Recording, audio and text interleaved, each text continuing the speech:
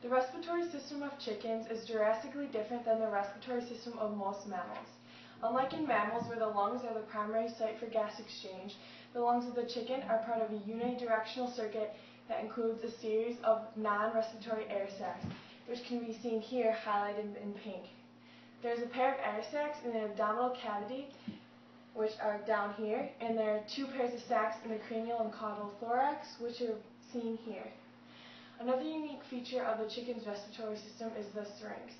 The syrinx is a uniquely avian organ of phonation, which can be seen here, outlined in green, and is found after the trachea. The chicken does not also have a diaphragm, so instead it uses intercostal muscles as the major muscles of respiration.